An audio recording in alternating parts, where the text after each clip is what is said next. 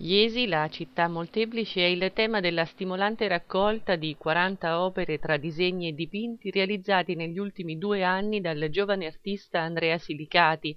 giovane iesino che in questo modo ha voluto rivolgere un omaggio alla sua città e alle sue radici nella quale vive.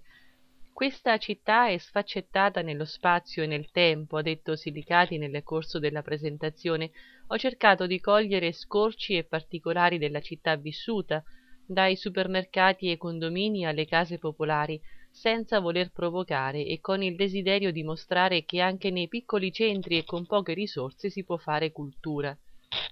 La mostra si inserisce a pieno titolo nel percorso di studio della città avviato dall'assessore alla cultura Conti con le biblioteche Petrucciana e Planettiana e vuole essere anche una ulteriore occasione per valorizzare i giovani artisti. Nel pomeriggio del 3 dicembre un interessante incontro dibattito coordinato da Roberto Gigli, al quale ha partecipato lo stesso artista, Andrea Silicati, e hanno partecipato il professor Antonio Ramini che ha proposto una narrazione storica sulle famiglie potenti della città che hanno favorito lo sviluppo di Iesi e l'architetto Stefano Santini che ha proposto un collage di punti di vista di artisti e architetti sulla città.